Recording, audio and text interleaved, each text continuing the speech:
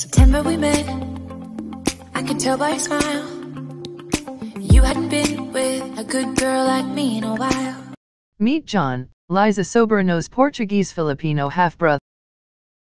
Actress Liza Soberano has met her 22 year old half brother John, who is the son of her father, John Castillo Soberano, with a Portuguese woman. The actress has an American mother Jacqueline Elizabeth Hanley. On Facebook, Soberano's manager Ogie Diaz shared the photo of the meeting. John's here is just where his father's request is for his name. Daddy John is very happy, because when he left US, he's been paying a little over John's younger age for six months, so the father feels the presence of the child before it flew to the US in April, Diaz narrated.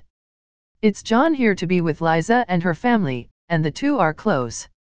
Actually, Enrique Gil meets John and I think yesterday they were close, Diaz added.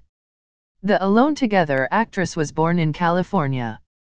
She was raised by her maternal grandparents when her parents separated, before moving to Manila at the age of 10 to live with her father.